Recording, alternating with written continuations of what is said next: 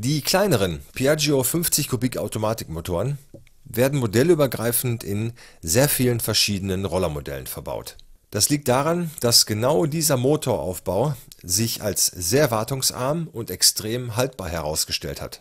Und das gilt sowohl für die luftgekühlten Varianten als auch für die wassergekühlten Modelle.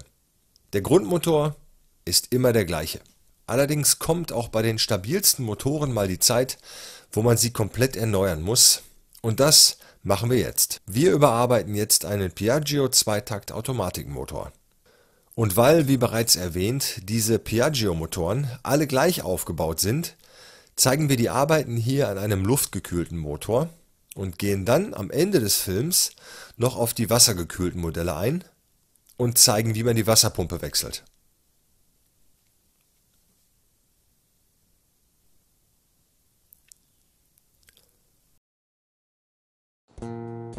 Zuerst werde ich den Motordeckel abnehmen.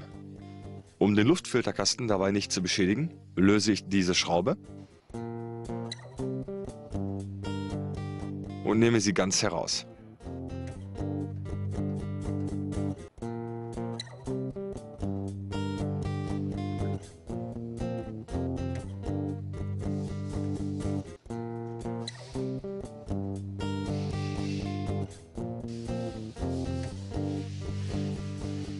Danach kann ich den Luftfilterkasten ohne weiteres anheben und komme so einfacher an alle anderen Schrauben heran.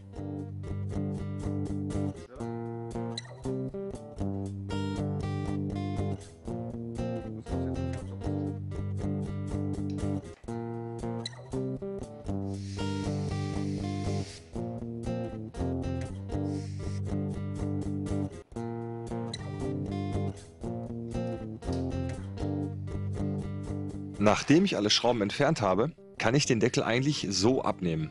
Sollte er etwas zu fest sitzen, helfe ich mir durch einen Schlag auf den Kickstarter.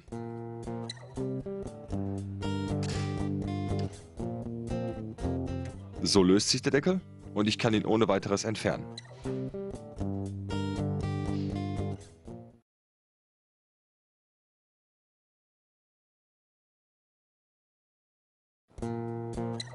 Direkt unter dem Motordeckel befindet sich der Antrieb. Um diesen zu demontieren, entspanne ich zuerst durch Zusammendrücken der Kupplungsfeder den Zahnriemen. Hier noch einmal etwas langsamer.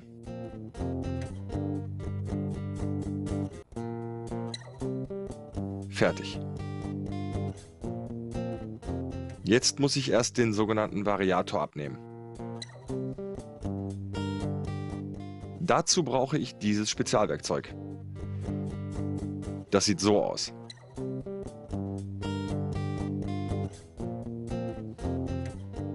Das Spezialwerkzeug befestige ich mit einer Schraube unterhalb des Variators.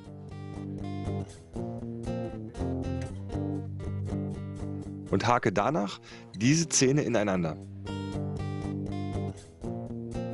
So ist der Variator ideal blockiert und ich kann jetzt die Haltemutter lösen.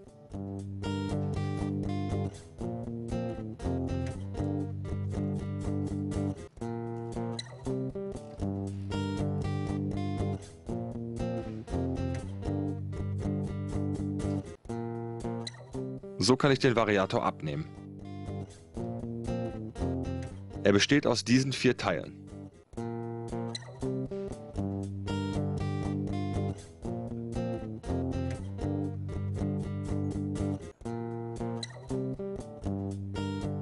Nachdem ich jetzt den Zahnriemen weggenommen habe,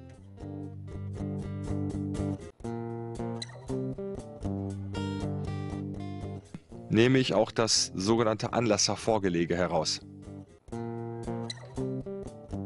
Und kann nun die sogenannte Variomatik demontieren. Dazu nehme ich erst diesen Drosselring ab. Dann ziehe ich die Zentrierhülse raus.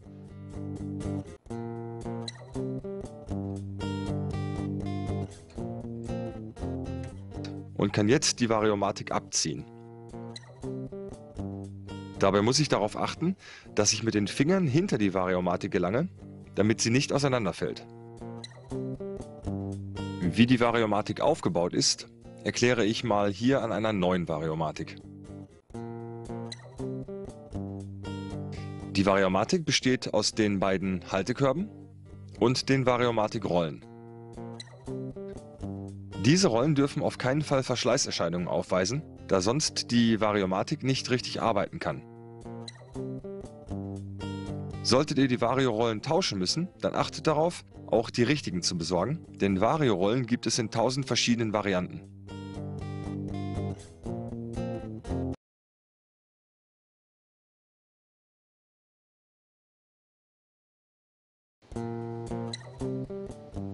Die Ölpumpe sitzt da und sie wird lediglich durch zwei Schrauben gehalten.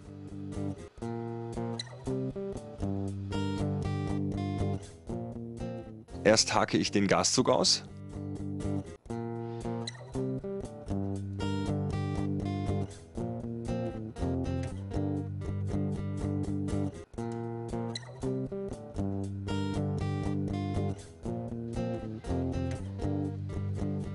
Dann löse ich die beiden Halteschrauben.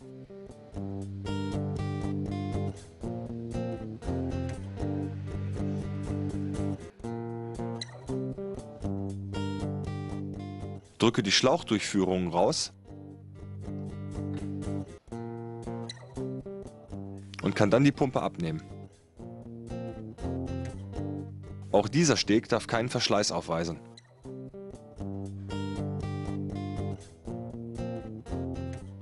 Damit sie nicht weiter stört, hänge ich sie erstmal über die Fußraste. Danach nehme ich diese Distanzscheibe und den Ölpumpenriemen ab.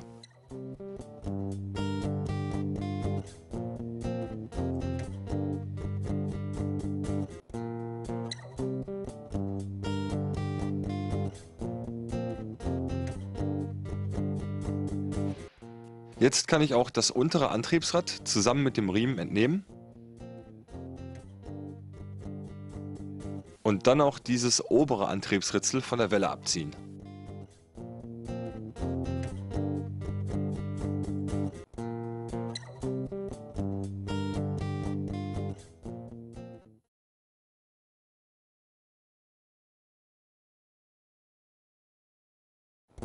Jetzt werde ich die Simmeringe rausnehmen. Diesen an der Kurbelwelle und den an der Antriebswelle. Zur Demontage der Simmeringe schleife ich in einen alten Schraubendreher eine Kerbe und habe so eine Art Haken. Bevor ich aber die Simmeringe entferne, muss ich erst einmal alle Schmierstoffe ablassen. In diesem Fall das Getriebeöl.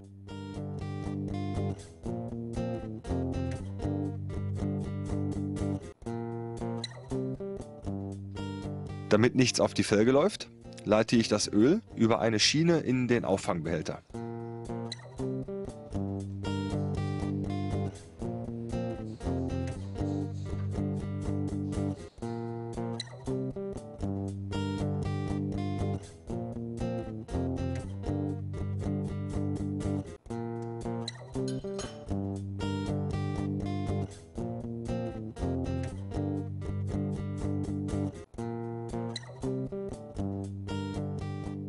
Jetzt kann ich mit meinem Spezialschraubendreher die Simmeringe herausziehen.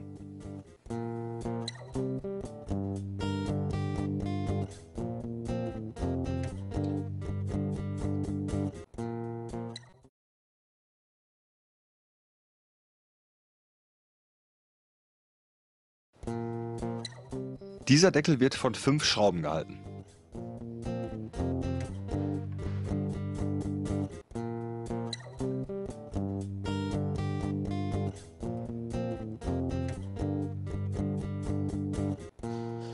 Nachdem ich diese entnommen habe, nehme ich einen Gummi oder Plastikhammer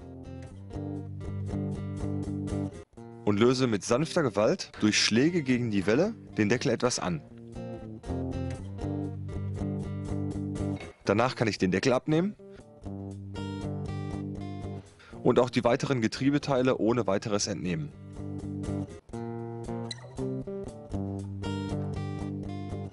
Auf der kleineren der beiden Wellen ist beidseitig eine solche Distanzscheibe aufgesteckt. Und diese Distanzscheiben stecke ich sofort wieder an Ort und Stelle, damit ich sie bei der Wiedermontage nicht mit anderen Unterlegscheiben verwechsle.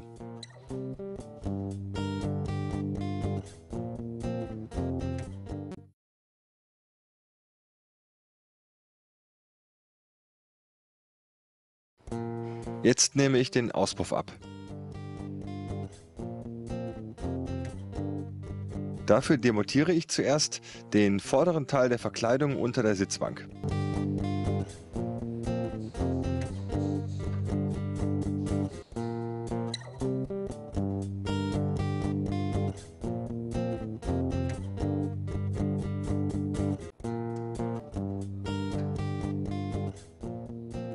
Nachdem ich dieses Verkleidungsteil abgenommen habe, sehe ich direkt auf die Zündspule, die Zündkerze und den Zylinder.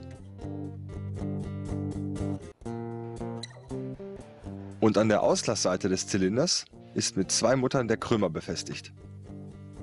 Diese beiden Muttern muss ich abschrauben.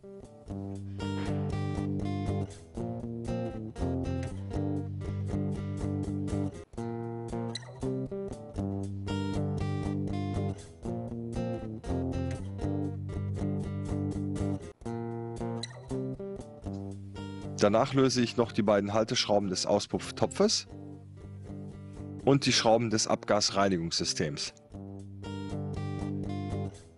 Das Abgasreinigungssystem ist eigentlich ein Kompromiss an die neueren Abgasnormen. Die Abgase, die aus dem Auslass des Zylinders kommen, werden im Auspuffkrümmer aufgeteilt und so geht ein Drittel der Abgase nicht mehr durch den Auspuff raus, sondern wird durch das Abgasreinigungssystem geleitet und dort gefiltert. Das ganze System besteht lediglich aus dieser kleinen Metallmembran und dem sich dahinter befindenden Filter. Jetzt löse ich noch die Auspufftopf-Halteschrauben.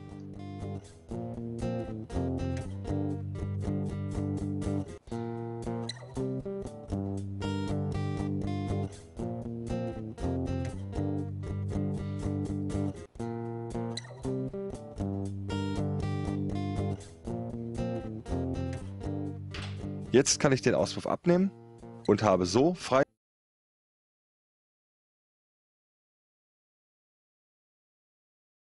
Die Bremse besteht aus zwei Bremsbacken, die lediglich mit zwei Federn zusammengehalten werden. Sie werden beim Bremsvorgang durch diesen Zapfen auseinandergedrückt.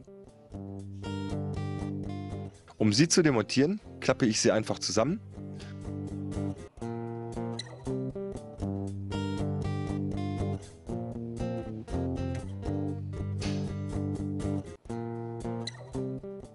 und kann sie dann abnehmen.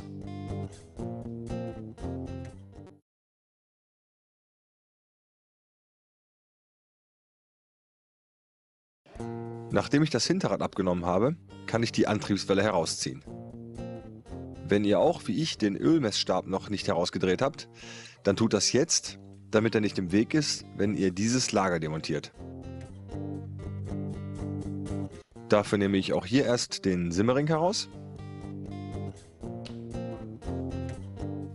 und entferne mit einer Sägeringzange den darunterliegenden Lagersicherungsring. Danach treibe ich von der anderen Seite das Lager aus dem Lagersitz.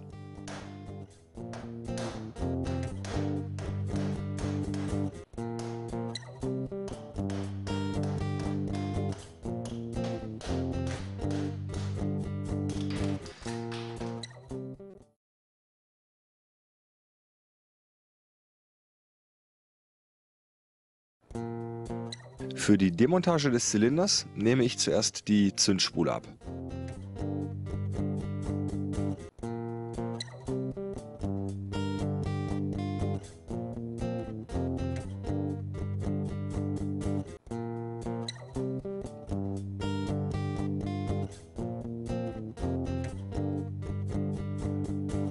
Dann ziehe ich den Zündkerzenstecker von der Zündkerze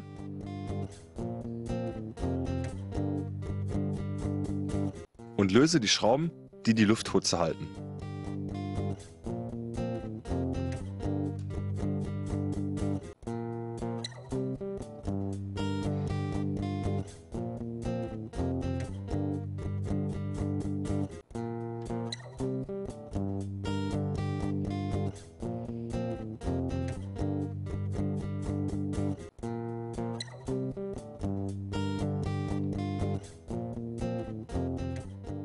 Danach nehme ich die Luftputze ab.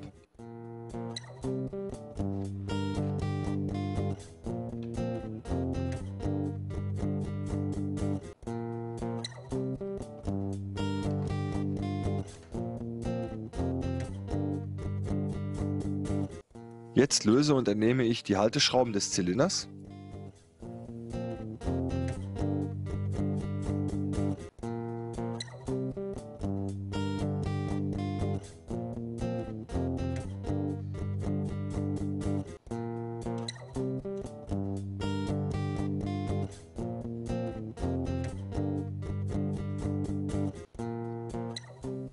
Kann danach ganz einfach erst den Zylinderkopf und danach den ganzen Zylinder abziehen.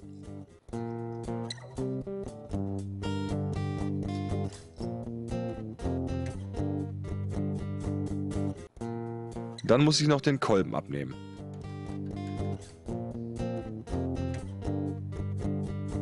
Dafür stopfe ich erstmal den Zylinderschacht mit Papier aus, damit nichts hineinfallen kann. Danach entferne ich zuerst auf der einen Seite des Kolbens den Kolbenbolzen-Sicherungssplint. Jetzt befestige ich zum Schutz des Kolbens ein stabiles Stück Pappe zwischen dem Kolben und den Zylinderhalteschrauben. Dann kann ich mit einem langen Schraubendreher den Kolbenbolzen aus dem Kolben schieben.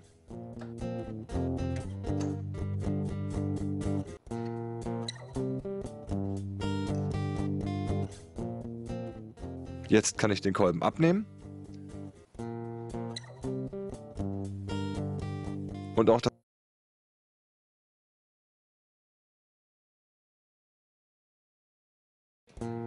Da ich ja den Motor komplett ausbauen will, muss ich auch den Bremszug komplett lösen und aushaken. Dafür schraube ich erst die Zugeinstellschraube ab.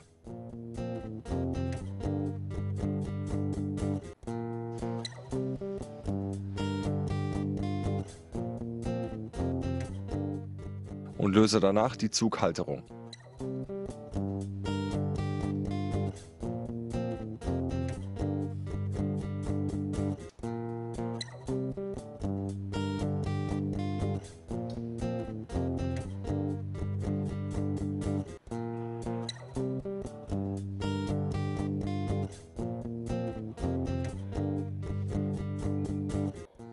Auch hier stecke ich wieder zur Aufbewahrung alle Teile, die zusammengehören, auch wieder zusammen.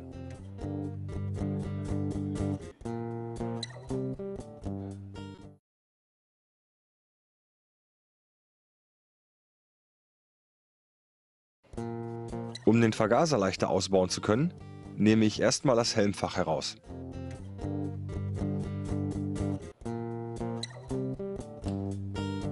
Wie bereits erwähnt, sucht gründlich nach allen Verkleidungsschrauben und achtet auch auf die Elektrik.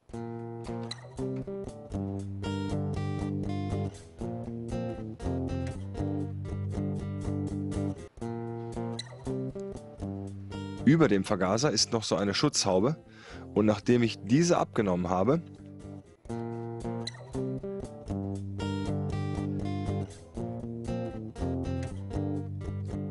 löse ich erstmal alle anderen Verbindungen, die zum Vergaser hin oder vom Vergaser wegführen.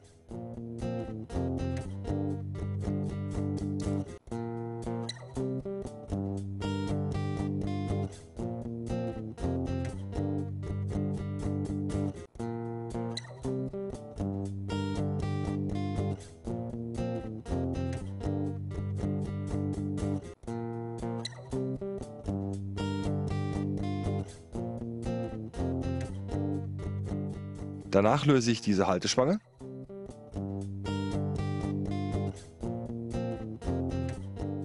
Und kann jetzt den Vergaser einfach abziehen.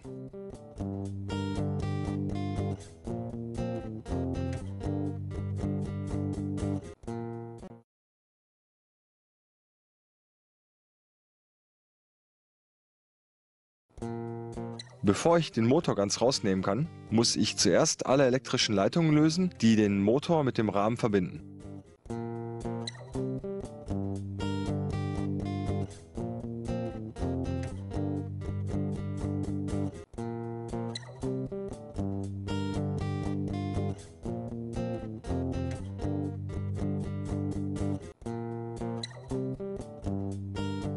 Danach schraube ich das Federbein los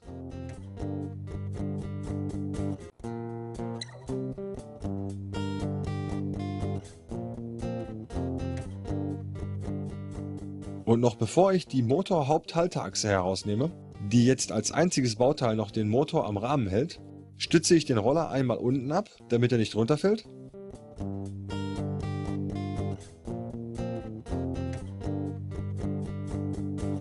Und dann noch zu beiden Seiten, dass er nicht umkippt.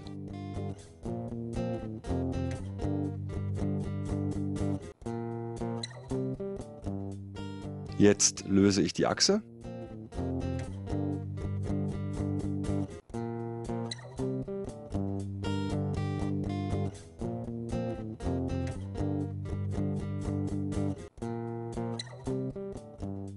nehme sie heraus. Danach kann ich den Motor einfach herausschieben.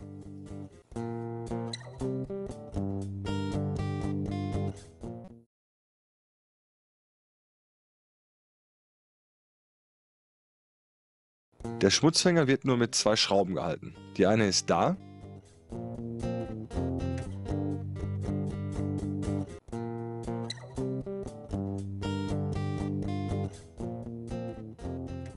die andere ist hinter dem Luftreinigungssystem an dieser Stelle.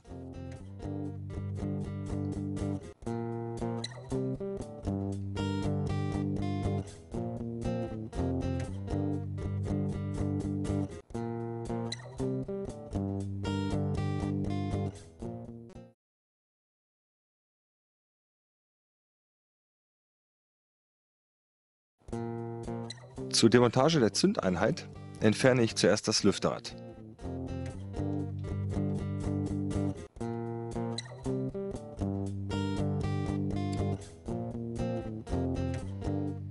Darunter befindet sich das sogenannte Polrad. Um es zu lösen, brauche ich auch hier wieder den Ölfilterschlüssel. Ansetzen, festschrauben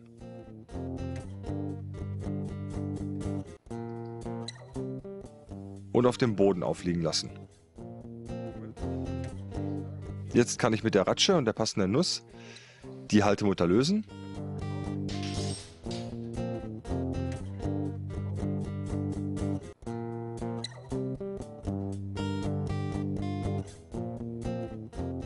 Und abnehmen. Dann brauche ich einen sogenannten Polradabzieher. Der sieht so aus. Er hat im Inneren eine Konterschraube die ich fast ganz rausschrauben muss. Und auf der anderen Seite hat er ein Feingewinde.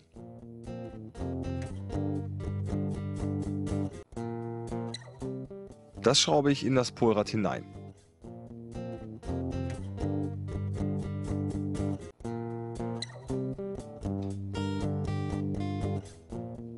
Etwas nachziehen, damit der Abzieher richtig sitzt. Und dann die Schraube reindrehen, bis sich das Polrad mit einem kleinen Knacken löst. Danach kann ich das Polrad abnehmen.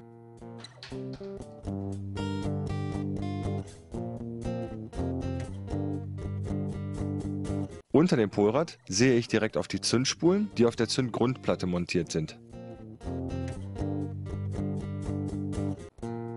Und darunter befindet sich direkt der Pickup, der auch zur Zündung gehört. Nachdem ich hier die Schrauben entfernt habe,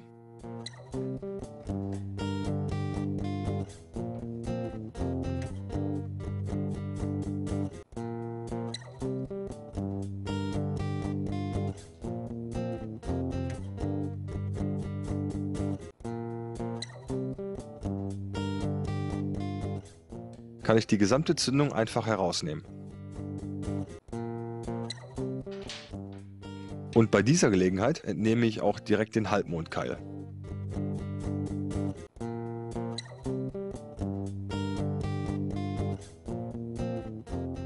Dieser Keil sorgt dafür, dass sich das Polrad auf der Welle nicht verschieben kann, weil dadurch die Zündung verstellt werden würde.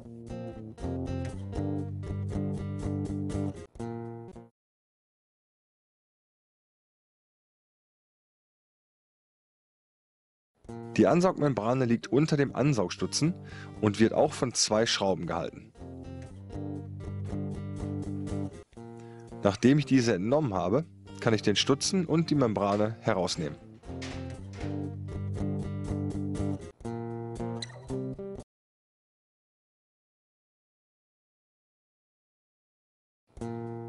Um den Hauptständer zu entnehmen, muss ich zuerst diese Achse herausnehmen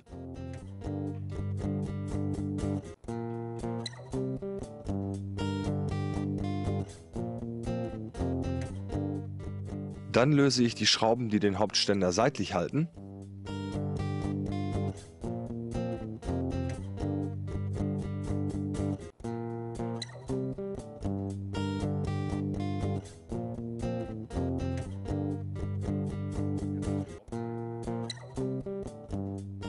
und kann den Ständer dann abnehmen.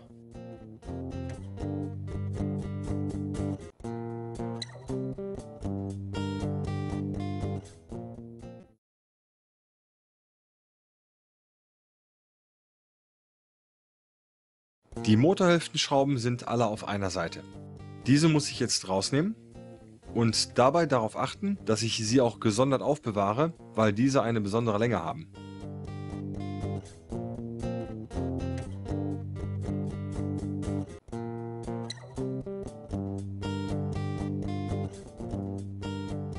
Wenn ich sie alle gelöst und herausgenommen habe, nehme ich einen Plastik- oder Gummihammer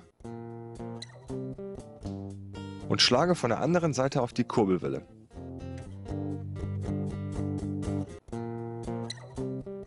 So lösen sich die beiden Motorhälften voneinander und ich kann sie einfach auseinanderziehen.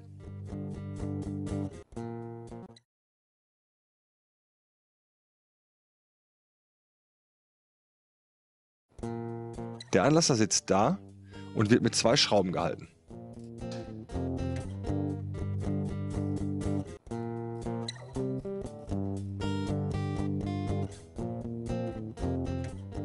Nachdem ich sie herausgenommen habe, kann ich den Anlasser herausziehen.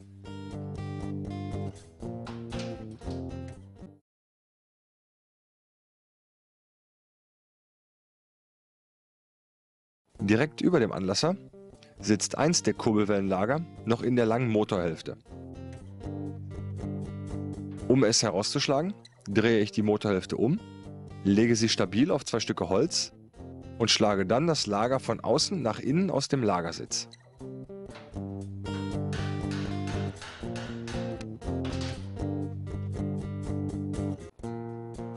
Um die Kurbelwelle zu entnehmen, lege ich die Motorhälfte stabil und erhöht hin sodass die Welle frei schwebt. Dann nehme ich wieder meinen Plastikhammer und schlage die Welle aus der Motorhälfte.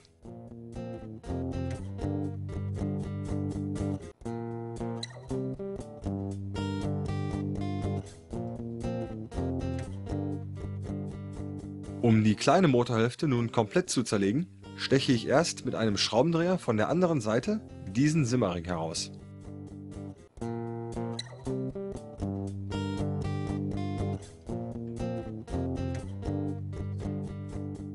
Und um dieses Lager zu demontieren, drehe ich die Motorhälfte um,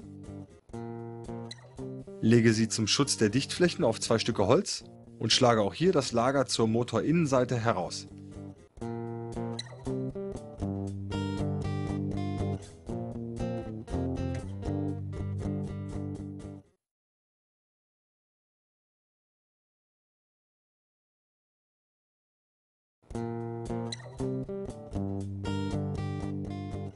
Durch den Getriebedeckel geht die Antriebswelle für das Hinterrad. Um sie herausnehmen zu können, muss ich zuerst mit einer Sägeringzange diesen Lagersicherungsring herausnehmen.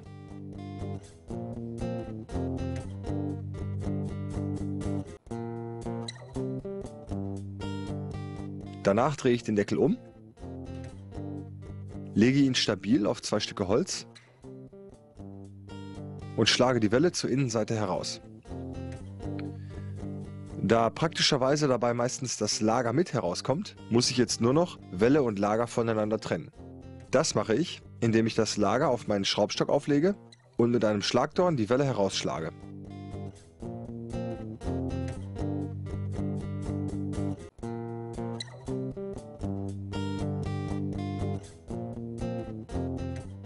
Fertig.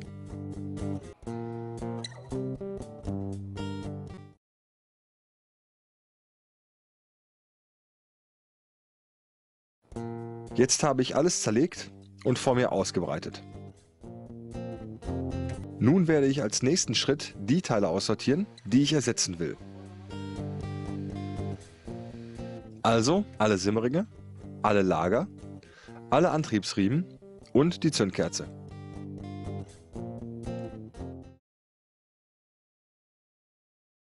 Der Antriebsriemen. Sieht auf den ersten Blick noch nicht so schlimm aus, denn die Ränder sind kaum ausgefranst und er ist auch noch nicht spröde oder rissig. Aber im Vergleich mit einem neuen Antriebsriemen fällt es einem dann doch auf.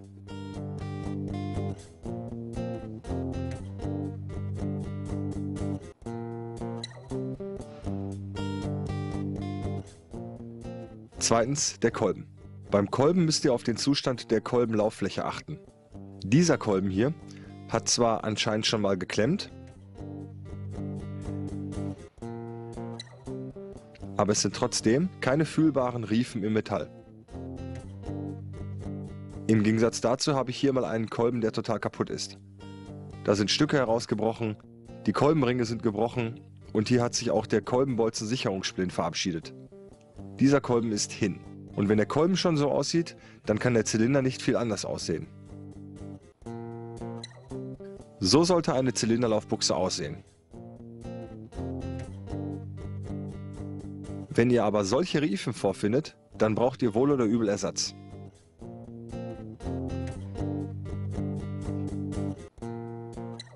Wenn die Bremsbeläge gut gebremst haben und auch noch eine vernünftige Belagstärke aufweisen, dann reicht es voll und ganz, sie gründlich zu reinigen und vor der Wiedermontage kurz etwas anzuschleifen. Bei der Zündung prüft nach, ob alle Kabel noch vernünftig verlötet sind und ob sie keine blanken Stellen aufweisen, an denen Kurzschlüsse entstehen könnten. Der Anlasserfreilauf muss ganz leicht ausfahren und auch genauso leicht wieder von alleine zurückschnacken.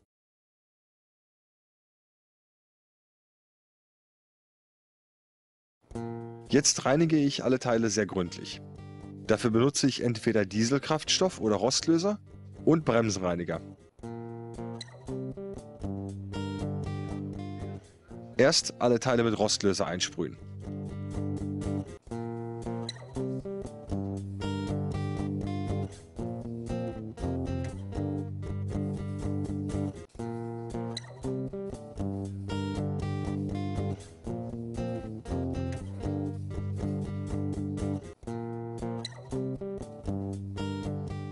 Danach den Rostlöser 5 Minuten einziehen lassen und danach die Sachen mit dem Borstenpinsel richtig sauber machen.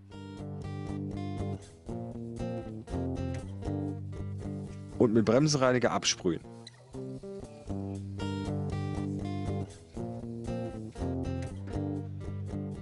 Die alten Reste der Dichtung bekommt ihr mit einem solchen Schaber von den Dichtflächen.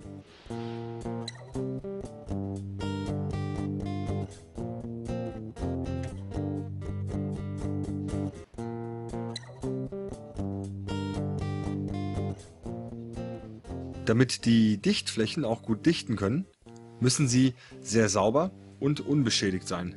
Lasst euch also beim Entfernen der alten Dichtung oder der alten Dichtungsmasse ruhig etwas Zeit und macht das gründlich.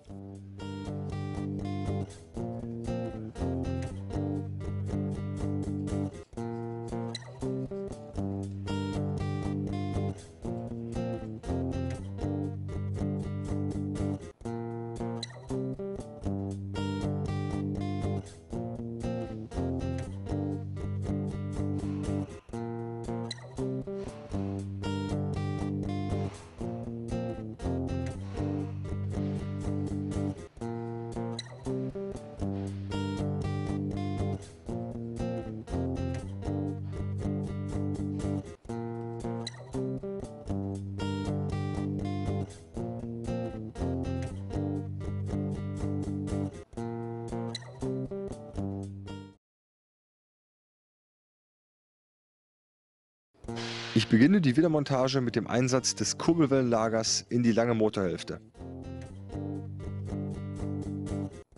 Circa 45 Minuten vorher stecke ich einige der Metallteile, die ich wieder in den Motor einbauen will, wie zum Beispiel Lager und Kurbelwelle, zusammen in eine Tüte und lege sie in ein Eisfach. Durch die Kälte zieht sich das Metall zusammen und es ist hinterher viel leichter, zum Beispiel die Lager in die Lagersitze zu treiben. Zusätzlich erhitze ich noch den Lagersitz mit einem Heißluftföhn, weil sich durch die Hitze wiederum der Lagersitz ausdehnt.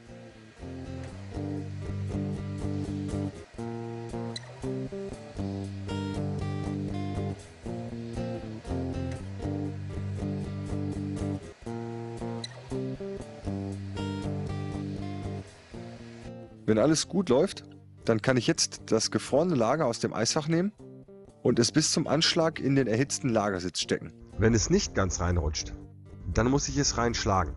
Dafür benutze ich normalerweise eine alte Nuss, die passgenau auf dem Außenkranz des Lagers aufliegt. Wenn ihr aber keine alte Nuss habt, die ihr dafür verwenden könnt, dann nehmt eben das alte Lager, legt es auf das neue und schlagt so das neue Lager in den Lagersitz. Wichtig ist, beim Einschlagen der Lager die Lager nicht zu beschädigen.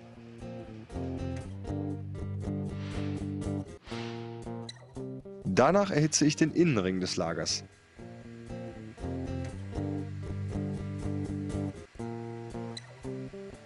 Nehme die gefrorene Kurbelwelle aus dem Eisfach und stecke auch sie ins Lager hinein, soweit es geht.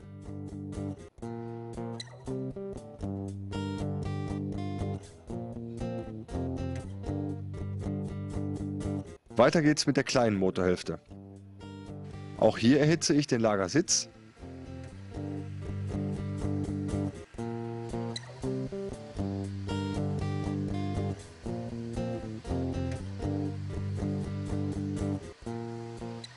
Nehme jetzt das passende gefrorene Lager aus dem Eisfach und stecke es bis zum Anschlag in den erhitzten Lagersitz. Wenn nötig, auch hier mit Hilfe des alten Lagers nacharbeiten.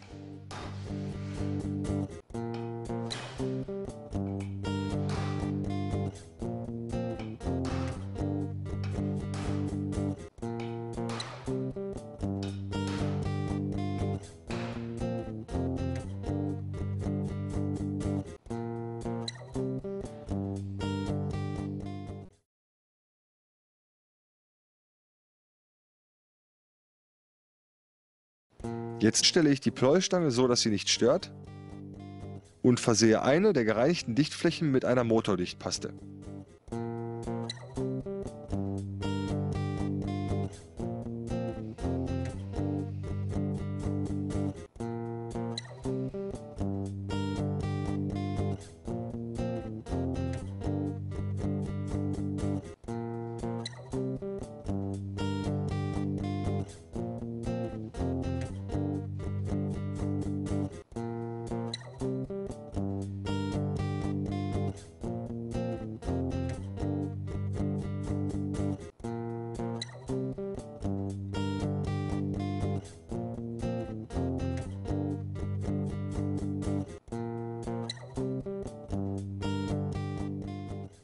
Stecke ich die Motorhälften zusammen.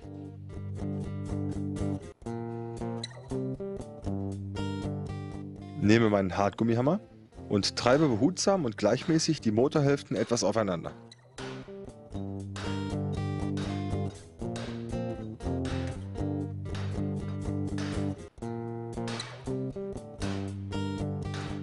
So weit bis sie nah genug aneinander sind, dass ich die passenden Schrauben ansetzen kann. Achtung, Denkt daran, auch die richtigen Schrauben zu nehmen. Die haben unterschiedliche Längen.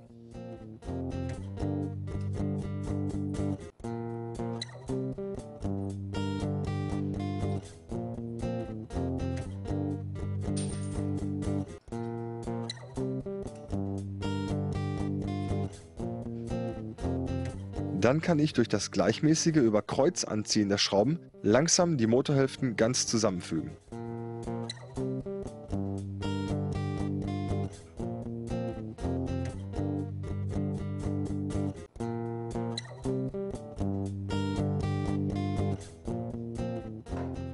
Danach muss ich aber die Kurbelwelle noch gängig machen. Das erreiche ich, indem ich mit einem Hartgummihammer von beiden Seiten einige ordentliche Schläge auf die Welle ausübe.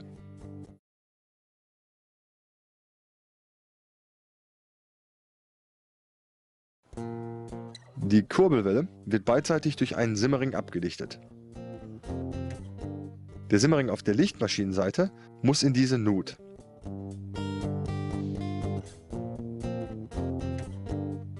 Er sollte aber nicht ganz auf der Welle aufliegen. Und auch die Simmeringe dürfen beim Einsetzen keinesfalls beschädigt werden. Erst etwas Sprühöl, dann den Simmering auflegen, den alten Simmering zum Schutz darüber legen und mit einer Langnuss reintreiben.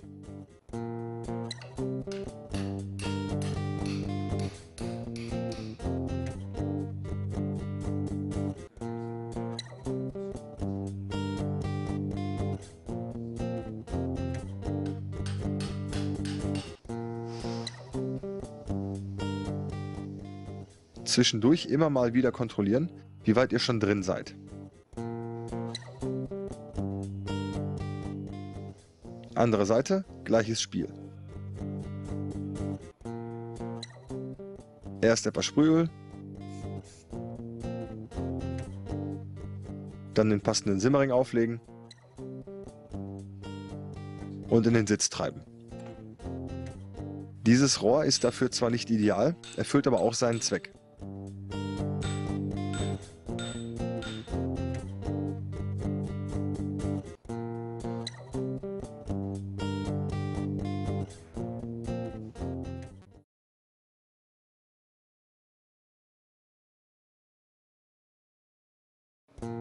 Jetzt werde ich das Getriebe montieren.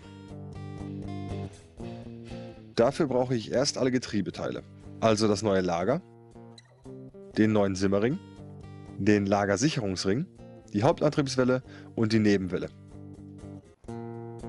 Ich nehme wieder meinen Heißluftföhn und erhitze auch hier erst den Lagersitz.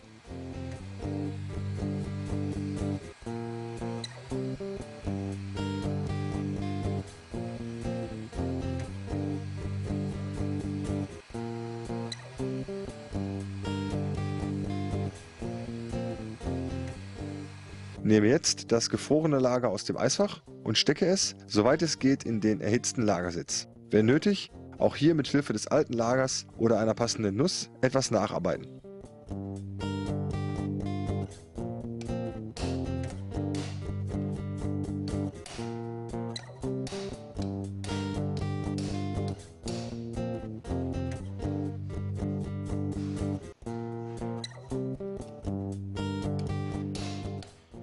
Danach könnt ihr das alte Lager mit der Zange rausziehen.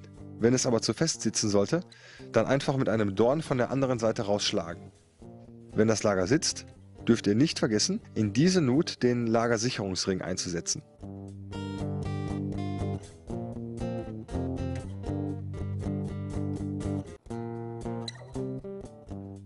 Und achtet darauf, dass er auch richtig eingerastet ist.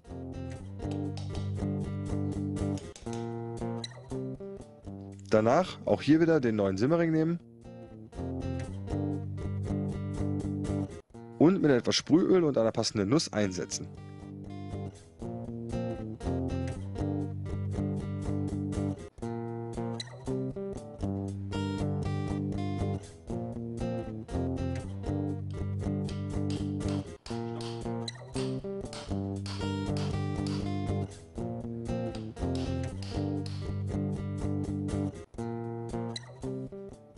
Baue ich den Deckel wieder zusammen. Zur Montage auch hier zuerst den Lagersitz erhitzen.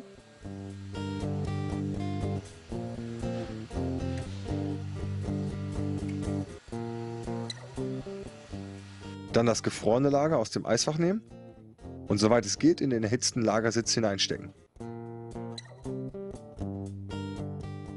Wieder eine passende Nuss oder ein altes Lager aufsetzen und bis zum Lageranschlag hineintreiben.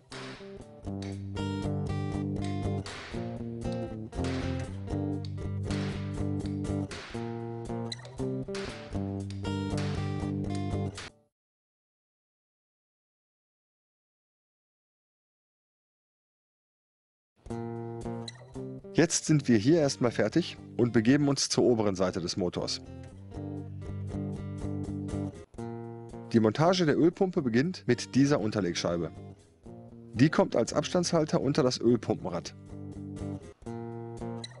Danach nehme ich das Ölpumpenrad und versehe vor der Montage die Laufbuchse mit etwas Sprühöl. Das ist super wichtig, weil die sonst ganz erbärmlich quietschen kann. Dann kann ich das Ölpumpenrad aufstecken.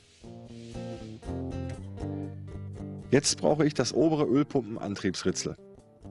Das stecke ich mit dem Wulst zur Motorinnenseite auf die Kurbelwelle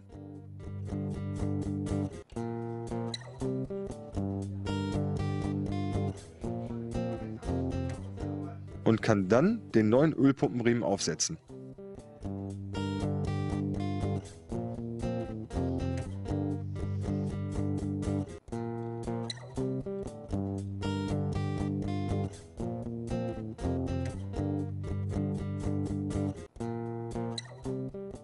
Dann wieder diese Variodistanzscheibe aufstecken.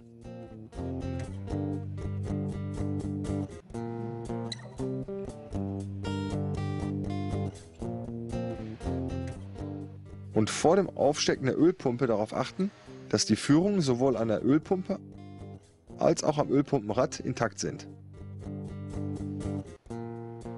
Jetzt erst die Schlauchdurchführung in den Motor einsetzen.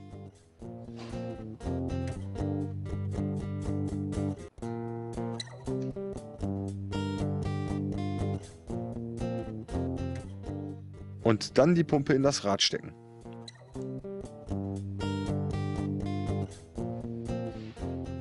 Festschrauben.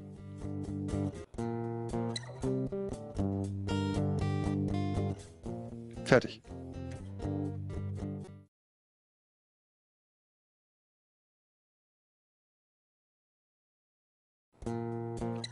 Zuerst setze ich mal die gründlich gereinigte Variomatik zusammen. Erst die Rollen einlegen.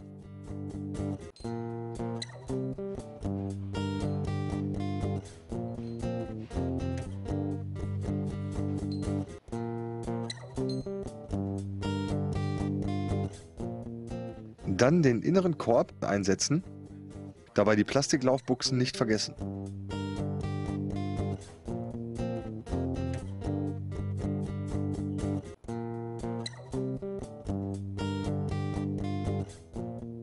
Dann die Variomatik auf die Kurbelwelle stecken und achte darauf, dass die Rollen dabei nicht verkanten.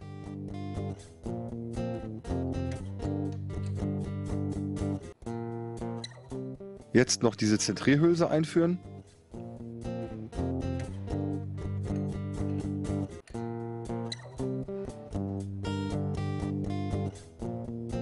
Fertig.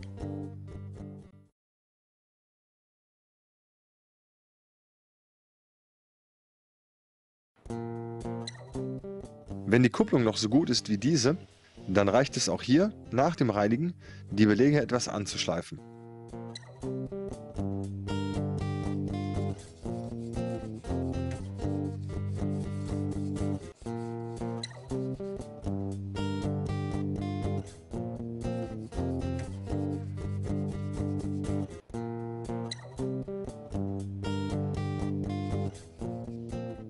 Dann prüfe ich nochmals, ob die Innenseite der Kupplungsglocke auch keine Riefen hat.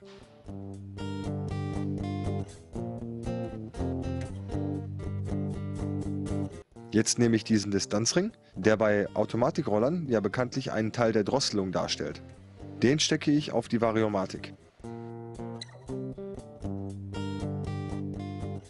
Danach spanne ich zuerst den Keilriemen in die Kupplung ein. Dazu drücke ich mit der Hand den Federteller zusammen, nehme dann den neuen Zahnriemen und spanne ihn in die Kupplung ein.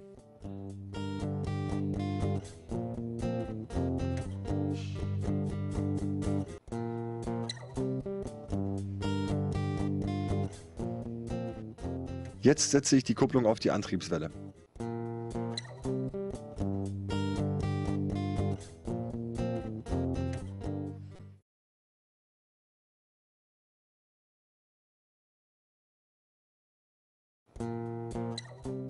Gereinigten Anlasserfreilauf kann ich einfach mit etwas Sprühöl versehen und auch genauso einfach in diese Aufnahme stecken.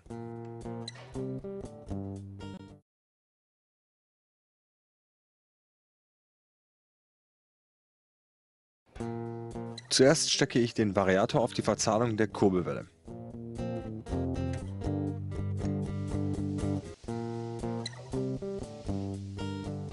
Dann setze ich das Variolüfterrad zusammen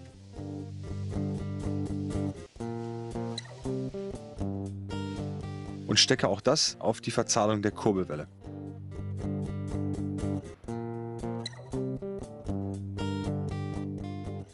Jetzt setze ich mit etwas Schraubensicherungsmittel die Haltemutter an.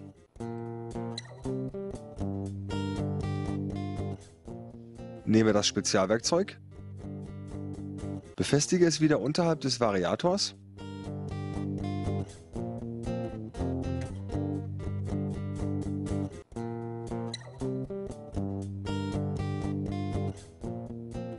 Dann hake ich die Zähne ineinander.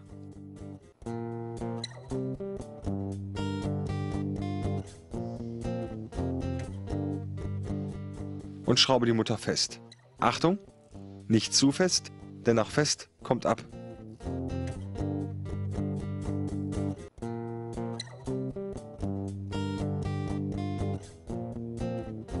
Jetzt kann ich noch die Kupplungsglocke aufsetzen.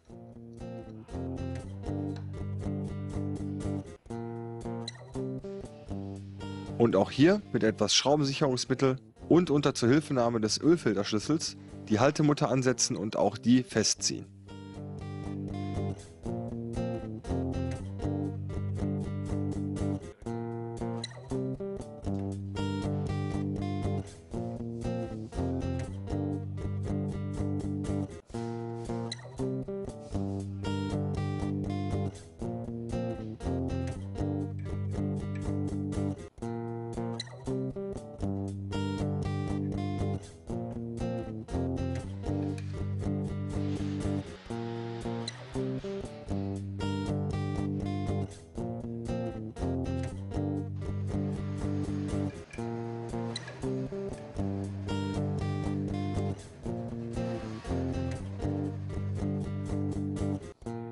Jetzt müsst ihr nur noch den Zahnriemen etwas vorspannen, weil er sonst durchrutscht.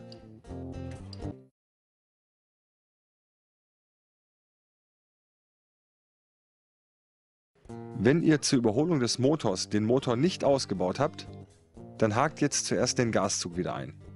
Vor der Montage des Seitendeckels brauche ich noch einmal mein Sprühöl, um den Kickstarter und das Kickstarter-Ritzel zu schmieren. Vor der Montage des Deckels werde ich noch kurz die Kickstarterwelle und das Kickstarter-Ritzel etwas schmieren. Den eigentlichen Kickstarter-Hebel kann ich dabei montiert lassen. Ich nehme nur das Ritzel heraus und reinige es. Jetzt nehme ich mein Sprühöl und versehe damit die Kickstarterwelle und die Aufnahme für das Ritzel. Dann nehme ich das gereinigte Ritzel und stecke es wieder in die Aufnahme zurück.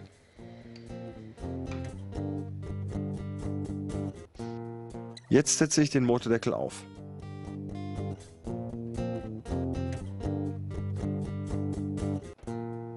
Setze alle Schrauben an.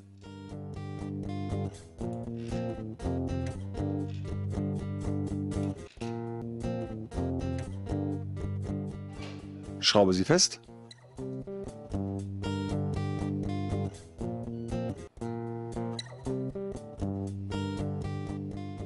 Fertig. Motordeckel sitzt.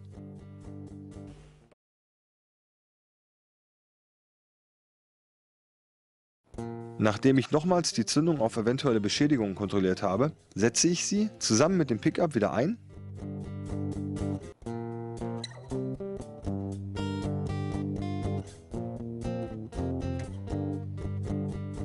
und schraube alles ordentlich fest.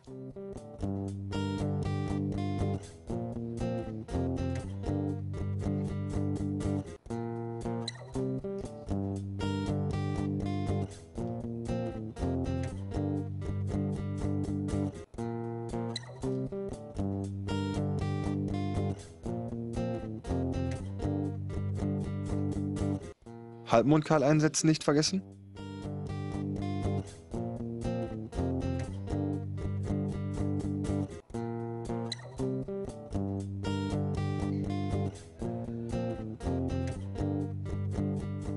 Und auch beim Pickup diesen Kabelrückhaltearm wieder anschrauben.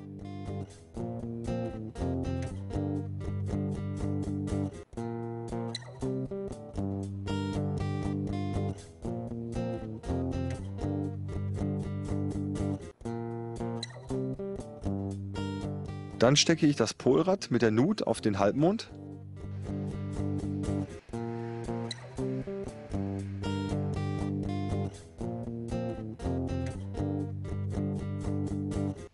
Und auch hier kann ich wieder mit etwas Schraubensicherungsmittel die Mutter ansetzen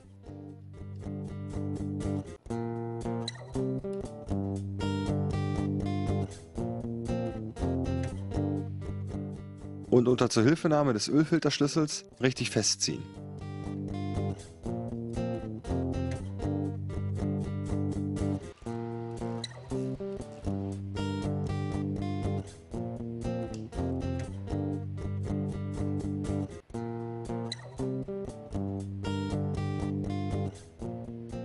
Jetzt kann ich das eigentliche Lüfterrad aufsetzen und auch das festschrauben.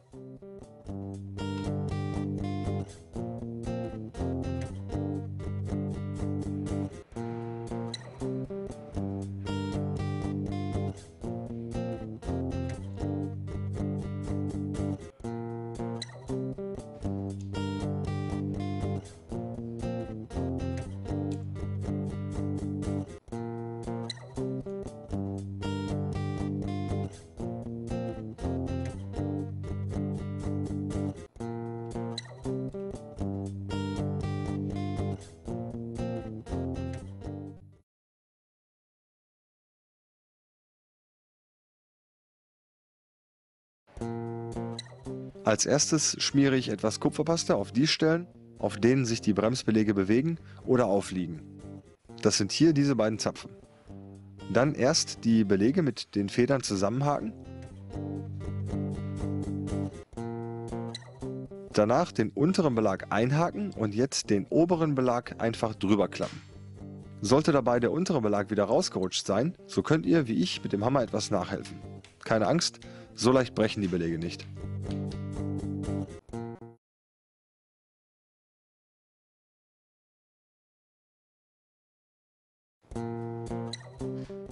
Der Anlasser sitzt hier.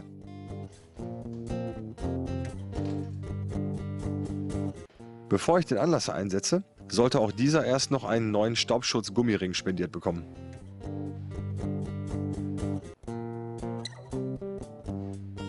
Dann setze ich den Anlasser ein.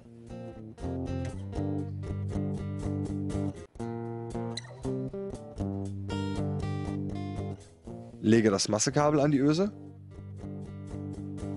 und schraube ihn fest.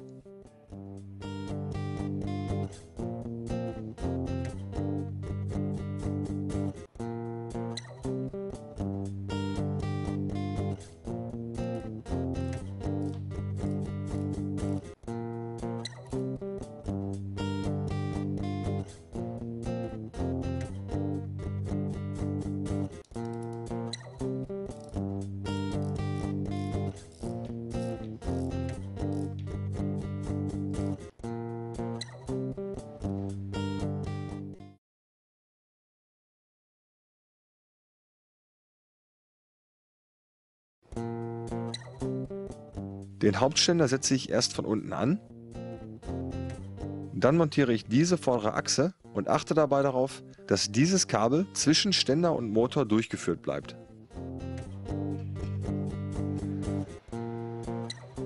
Dann schraube ich noch die zwei Seitenhalteschrauben fest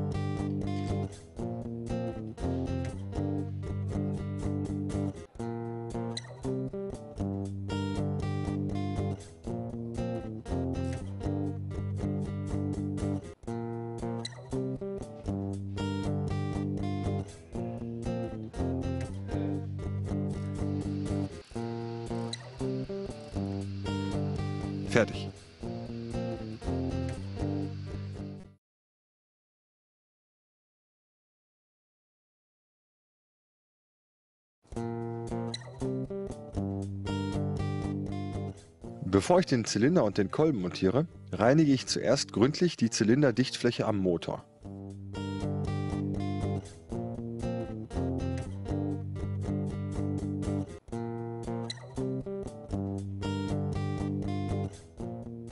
Dann brauche ich das Set bestehend aus Zylinder, montagefertigen Kolben, Zylinderkopf, Zylinderfußdichtung, Kolbenbolzenlager, Kolbenbolzen und die Kolbenbolzen-Halteclips.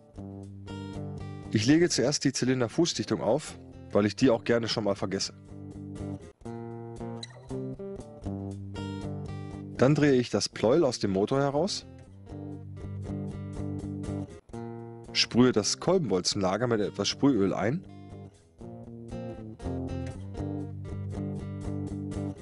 und setze es in das sogenannte Pleuelauge ein.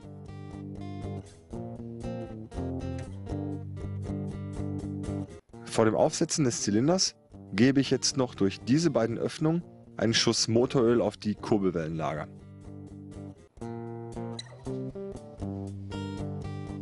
Jetzt setze ich erst in die eine Seite des Kolbens einen der Kolbenbolzen-Halteclips als Anschlag ein.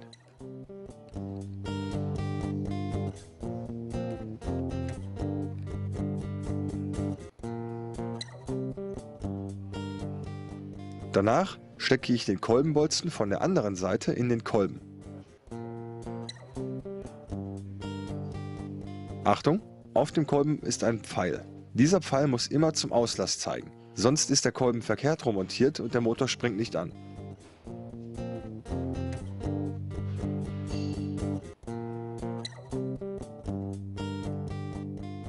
Nun setze ich den Kolben auf das Pleuelauge.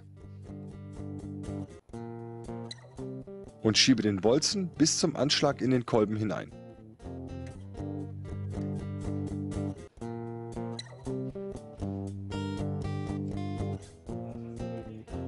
Zum Schluss setze ich jetzt noch den anderen Kolbenbolzen-Halteclip ein. Und damit mir nicht versehentlich einer der Halteclips in das Motorinnere fällt, habe ich die Öffnung mit Papiertüchern ausgestopft. Achtung, die Kolbenbolzen-Halteclips müssen tausendprozentig richtig in der Nut sitzen. Sonst springen sie beim Betrieb raus, verklemmen sich zwischen Zylinder und Kolben und verursachen so einen fiesen Kolbenfresser. Die Tücher kann ich nun wieder entfernen und dann vorsichtig den Zylinder aufstecken. Der passt nur in einer Position.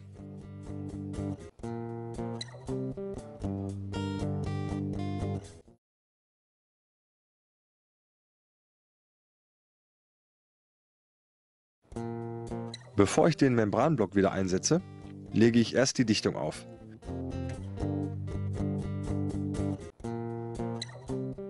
Und kann jetzt die Membrane reinstecken.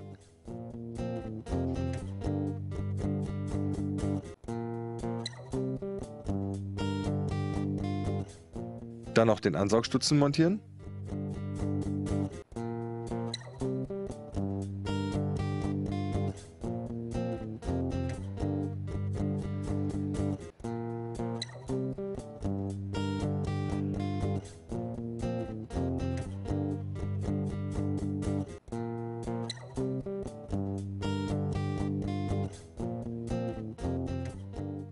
zuletzt noch der Funktionstest.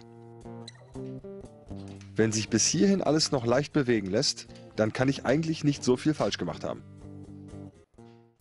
Und wie schon gesagt, jetzt die Wasserpumpenmodelle. Wie eingangs schon erwähnt, kann es ja auch sein, dass ihr gar keinen luftgekühlten Zylinder mit Kühlrippen habt, sondern einen wassergekühlten Zylinder, der durch einen Wasserkreislauf gekühlt wird. Sollte das so sein, dann habt ihr auch zwangsläufig eine Wasserpumpe, denn dieser Wasserkreislauf muss immer in Bewegung gehalten werden. Um die Wasserpumpe zu tauschen, müsst ihr lediglich ein paar Handgriffe mehr machen als die, die ihr gerade eben im Film gesehen habt.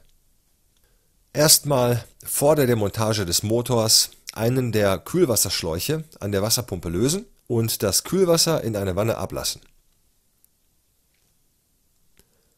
Dann den Motor genau so zerlegen, wie ihr es eben im Film gesehen habt.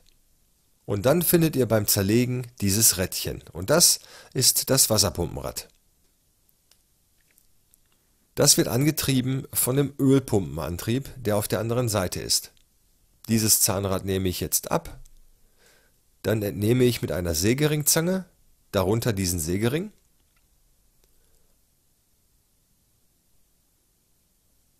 Und dann brauche ich so eine Klemmzange.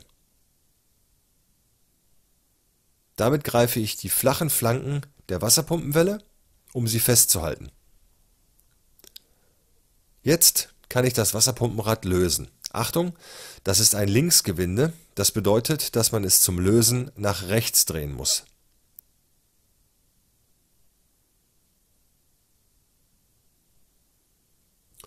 Jetzt kann ich die Zange wieder abnehmen und anschließend mit einem Hammer den ganzen Wasserpumpeneinsatz vorsichtig aus dem Gehäuse treiben.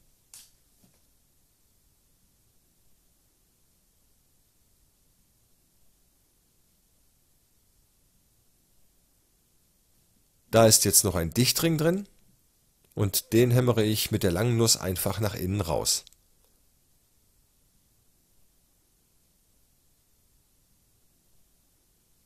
Fertig. Und das Ganze gibt es jetzt als Reparatursatz. Da ist in der Regel dann auch schon alles dabei, inklusive der Lager, neuer Dichtung und neuer Welle etc. Also beim Einbau erst etwas Sprühöl in den Lagersitz. Dann den neuen Dichtring einsetzen und mit einer passenden Nuss vorsichtig bis zum Anschlag in den Sitz treiben.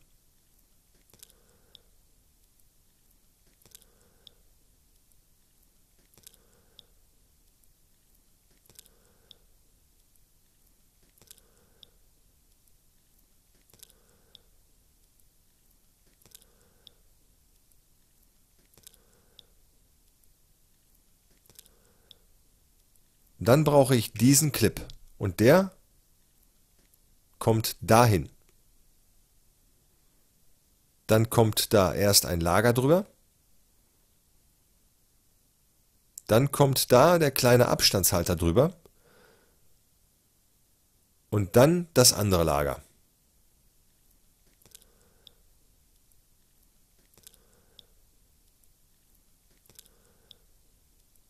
Und danach wird das Ganze durch den beiliegenden Sägering fixiert. Jetzt kommt das Ganze wieder da rein und wird mit der Langnuss behutsam in den Lagersitz getrieben.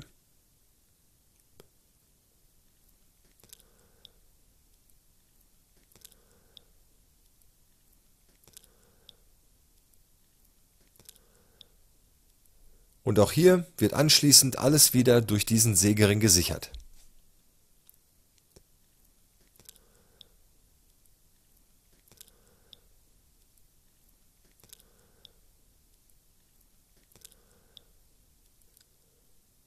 Jetzt wieder die Klemmzange ansetzen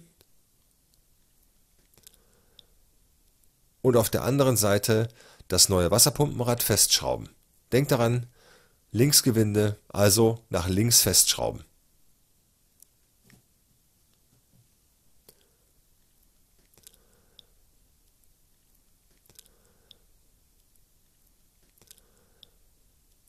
Und dann geht es genauso weiter, wie ihr es eben im Film schon gesehen habt.